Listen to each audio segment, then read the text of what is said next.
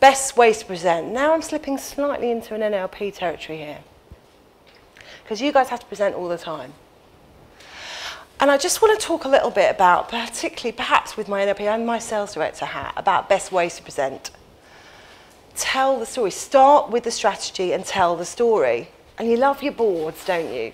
So you get, you, it's like a tease. It's like, you know, when you're in a reality show and it's who's been evicted. You love your boards. You keep your boards there and you start talking. Let me tell you, most of the time we're not listening to what you're saying because we're so desperate to see what's behind the boards.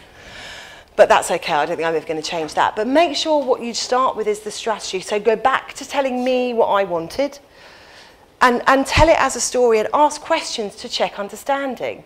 So rather than going, this is what we've done. So what we wanted was a piece of creative that connected with the 14 to 22 market. Uh, is that right? Yes. So it becomes an interactive process. So by the time you turn your board over, I've nodded so much because everything you've said, I'm checking for understanding. Yes, that's what I want. Yes, that's what I want. Yes, if you can deliver that. Yes, there it is. I'm still nodding. Yes, brilliant. Use positive language. I mean, this is something I observed with the top of the top of the agency people in London, that they present with negative language. This is what you don't want. There's a real, real amazingly powerful thing that you can do, which is presupposing ideas. Now I'm starting to get a bit Derren Brown. But using negative language, if I say to you all, you don't think about a blue tree. Whatever you do, don't think about a blue tree. Do not think about a blue tree. You're all thinking about blue trees. You can't help it because the unconscious mind doesn't understand negative demands. So when you're saying something, if you're saying, we didn't want to do this, or we can't do this, or we don't, all you're doing is telling the client the negative. So you tell them what you do want this is actually not just about presenting, this is about generally everything. Tell them what you do want.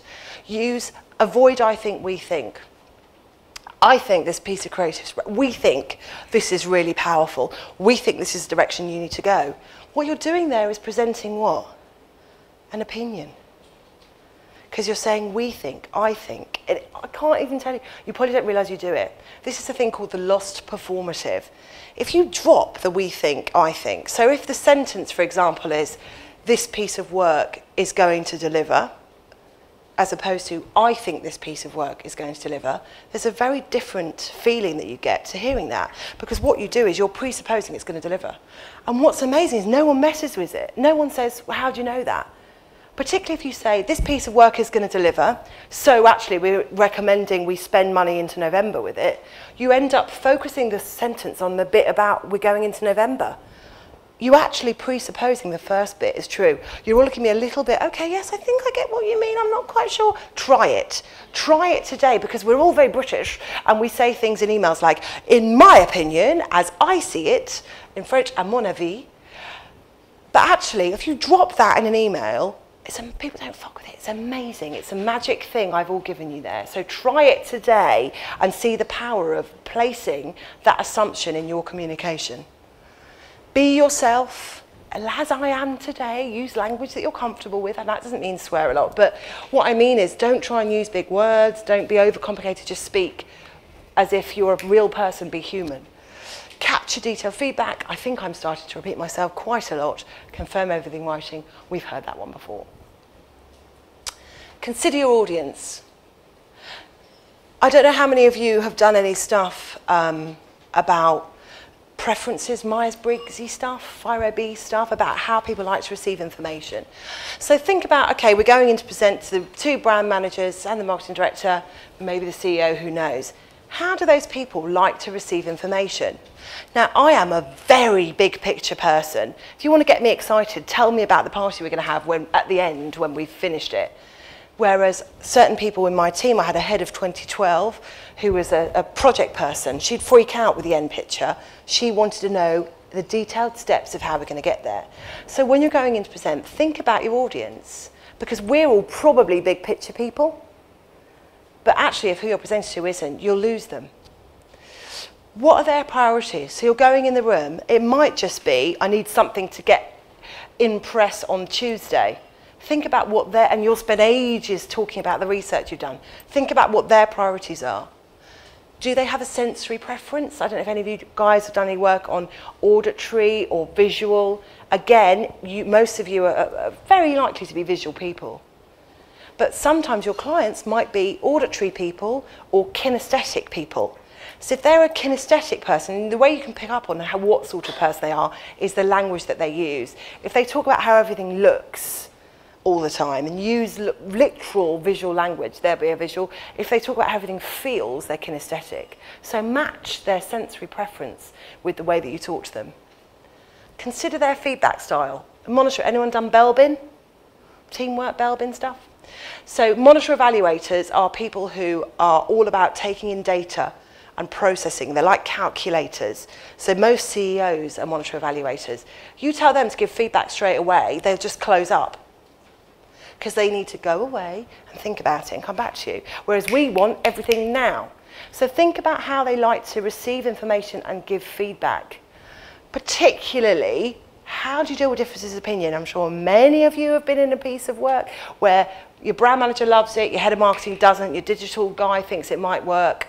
How do you deal with that? I know I've put my agency through sitting in front of my team arguing and me, you know, me being the, the coach in the middle trying to deal with them. Let, don't get involved in that. That's not your problem. Give them time. Go away, come back to me with consolidated feedback. Because there, what, what, what tends to happen, maybe if you've got a global CMO and a local marketing director, is who is the master? You're the master. You know, who, is, who are you supposed to listen to? So let them manage that. Let them come back to you with consolidated feedback in writing so you don't end up in the middle of that relationship. I can see lots of wry smiles. So this obviously happens quite a lot. Look after yourself. So this end bit now, I'm just going to do a little bit of high performance stuff. So you can all skip out the room being gutted that you all got really drunk last night and ate pizza. No, that's not what about. So this is what we call our performance pie. I don't know if anyone has seen anything like this before, but if you think about the chunks of your day that you spend time doing, which one are you doing most of? Of tactical, physical, mental, emotional, contextual, technical? Which one do you think you spend most of your time doing? Sorry, what was that? Well, that's good if you are, but I would challenge that most of your time is tactical. No? I mean, most people, it's what's my to-do list? What have I got to do now? What am I doing today? What am I doing this week? Looking at the nose. What have you got to do now? And technical. So most people, for example, you're preparing for a meeting. You're looking at what have I got to say? Do my slides work? Do my boards in order? Very, very tactical and very technical. That's where we tend to, there's nothing wrong with it, apart from this lady who's very mental, um, but that might be another, what she does out of work. But the tactical and the technical is where we intend to invest most of our time. Now, when you're an athlete, you probably can run as fast as you can. Kelly Holmes, who's someone we work with a lot, to study how she is a double gold medal winner.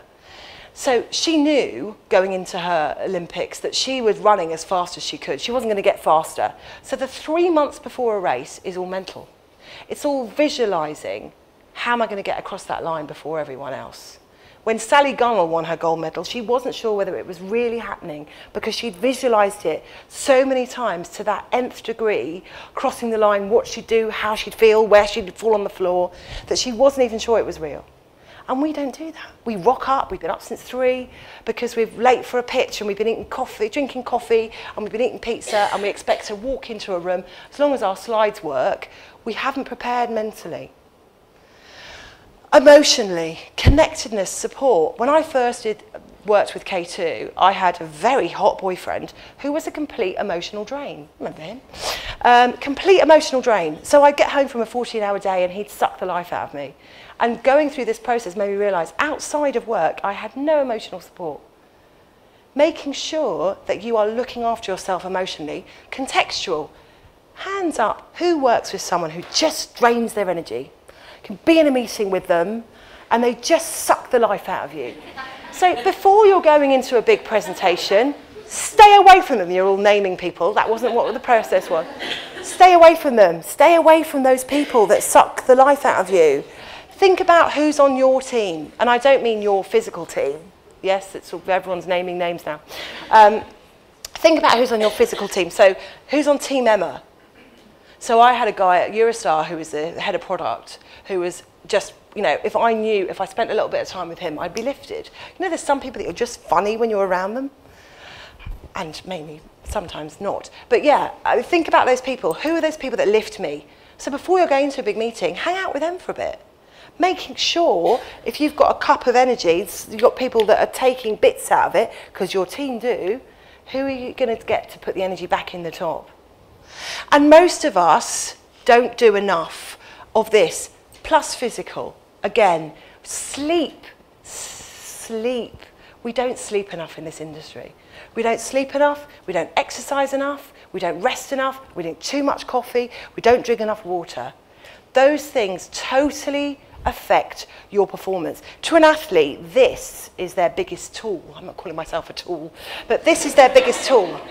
And it is to us as well, our brains, our performance, our personalities, not our slides or our boards, it's us. So make sure you're investing in you. Make sure that you're focusing on the tactical and the technical as well as all the other stuff. Think about your context, think about who you're hanging out with, think about your emotional preparation. When I was preparing for today, I said to Liz, I haven't looked at the slides today or last night. I talked, I thought about, I'm going on the Eurostar, funny enough, I'm going to Paris this afternoon, and I was thinking about my cab journey to St Pancras and how I wanted to feel. So think about the phone call back to the office after a, a presentation. Think about, I nailed it. Go there, hear what you heard, feel what you felt, see what you saw. Do it. Go there, choose that state, choose your mood, rather than worrying about your boards and your slides. Think about your outcome. Think about your client's outcome. Think about how you want your client to feel. Because we all, if you're programming your unconscious mind to create a future, you'll deliver it because you leak from every ounce of your being. If you walk in there thinking, shit, shit, shit, they're not going to buy it, shit, shit, shit, your language will be negative, your, your, everything about you, even your hair, everything will give you away. Every single piece of you because language is so much more, communication is so much more than the words you say. So program yourself to deliver that future, and you will. See, I've gone all Derren Brown. So that's the end of my spiel. Oh my God, the timing is impeccable. See, planning. Um, I would just put this slide up as a thing to think about because we all have these sessions and walk away going, well, that was pretty cool. And I just wanted to say to you, just capture some of this now write it down, confirm back to me in writing. No, don't have to. Um, but think about what, as a result of the last 45 minutes, you might actually start doing. Maybe it's the visualizing your outcome. Maybe it's putting exercise in your diary or making sure you drink more water than coffee. Because every time you drink a cup of coffee, you're taking away exactly that amount of water from your body. What you'd stop doing, staying up till three in the morning after, before, the night before a pitch.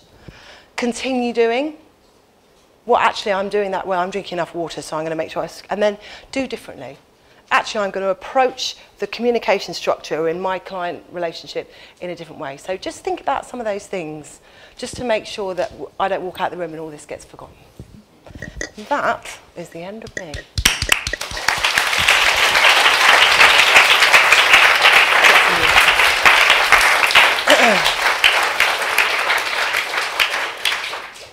Well, I think that's been a brilliant wake-up call this morning. Some really open and honest insight from Emma, uh, largely unrepeatable, but there you go.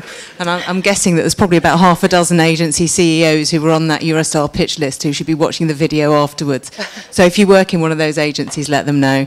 Um, and I can tell you, Emma taught me that um, I think, we think trick um, a few weeks ago. I promise you it really works. Um, really, really try it. It's brilliant. It's very, very powerful.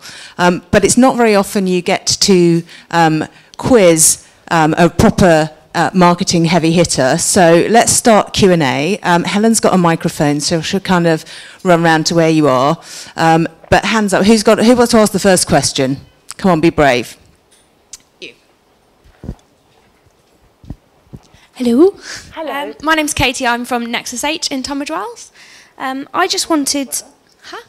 You did well this. Yeah, I know. We were up really early. I'm very tired, but I've drunk lots of water, so it's fine. Good. Um, I had a quick question on the getting started. Um, you said about setting up clear meeting structure. Yeah. Sometimes with some of our clients, we have a difficulty. We have a set slot every week, Um, but actually, a lot of the time, they don't attend the meetings or call us in the morning, or sometimes we're just waiting on the conference call and they just don't turn up. Is there any prompts or advice that you'd give us on securing that and making them do it, or Have you asked them why? um, yeah, he he always says like, oh, I've got a, I've got another meeting, or oh, I'm just too busy today, and we'll say, okay, well, you know, can we reschedule? What's your meet? You know, what's your diary like? Um, but he just never comes back to us with when we can do it. Has he got a PA? No, Ah. he's they're very under resourced. Um, I mean, it's a difficult one. I think that the most important thing is that you're doing what you can do. And this isn't about saying you can't create, I mean, not all marketing director are as fabulous as me, I get that. but you, you can only do so much. And I think what today is about is making sure that you are delivering what you can deliver. And just knowing that you're on the other end of that conference call, even though it feels horrendous to you to be sat there, you're giving him the comfort. In a way, the fact that he doesn't feel the need to always be there is a sign he feels safe that you're doing a good job. So even though for you it's a wasted time, I would stick with it. I'd stick with it. I'd try and, do, you know, I'm sure you've tried different things, reminding him the day before, checking in with him, you know, maybe saying, should we move to show every two weeks? You know, how often do you have real sort of account reviews where you're going through, how's this working for you? Asking for feedback on your performance, all that stuff might kick out. Actually, those weekly calls are a bit of a pain in the ass for me. Can we make them two weekly? Or can you do it, send me a, a, Monday morning you know, one pager on what's going on and ask me if there's anything you need me to come back on. So just have that open conversation. I hope that's useful. Another question, Rebecca. You spoke a lot to us as kind of individuals and talk about us kind of being go-to people. But obviously, as the marketing director, you're going to deal. Um, it's all right. Uh, as the marketing director, you're going to deal with the, the people that are highest in the agency team, your account directors, your uh, senior account managers, so on. Um, how do you feel the junior members of the team fit into your thinking when you're in a meeting? I think it was what I said before about trusting that the team is feeding back to me. I mean, this is what the account matrix is really important. So for you, it's knowing who you're dealing with. So if your relationship is with the brand manager, then be, then let it be with the brand manager and do all those things for that person. You know, that brand manager will have other things that are, that are keeping them awake at night. You know, it might be uh, part of it, how do I become a senior brand manager? You know, they might have little projects on the side that are slightly left field in terms of what they're doing. So all of that applies, just change it to whoever you're, you're dealing with. I mean, for me, every single person involved in that team should be a go-to person, should be the person that goes, we'll sort this out. Because as a collective, you're my individual representatives within the agency. So same applies, just maybe to a different level. That's but great. for me, you're the stars of the future, and I've worked with agencies long enough to see someone come in, you know, as a junior, end up senior, and then, you know, and that's great. That's great. And, and to learn, see, see people learning on a brand is brilliant. Thanks very much.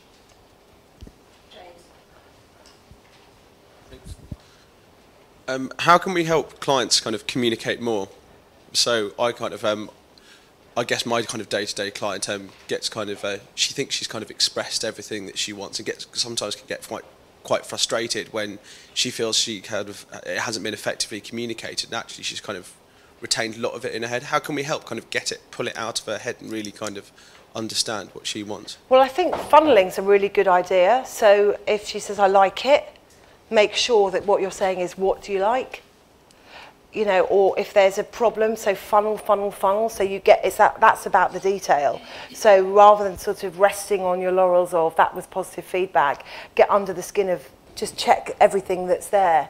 Um, I, am not quite sure what what things you want her to communicate on, but you know, I mean, uh, have you got regular communications? Are you taking her out of the office a lot?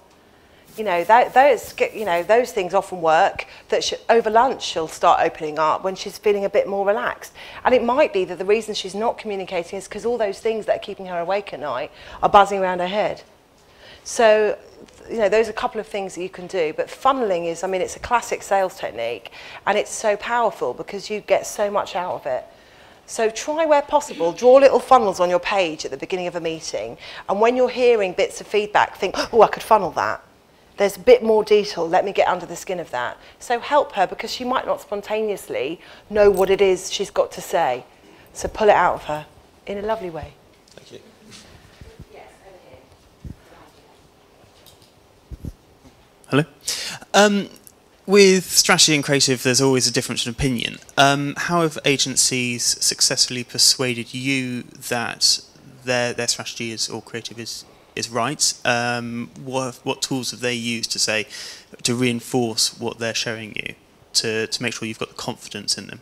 Customer, the customer, the customer, the customer. If the customer's at the heart of it, if insight's at the heart of it, then get fact based because fact-based evidence is really hard to mess with. So get, get, get insight, get research, and, and research that's relevant. So one of the things that happened in the pitch was what they researched. The whole brief was about this sort of future, but the research was about, they researched people asking them about their experiences now. So it wasn't relevant. So relevant research that, that's with a relevant demographic that's, that's answering that, it's very hard to argue with if it, it, it, you know, I appreciate that's an expense that you, you know, you need to undergo. But if you really believe this is the thing that's going to work, plus nowadays there's so much, I imagine, behavioural economics behind what you're presenting.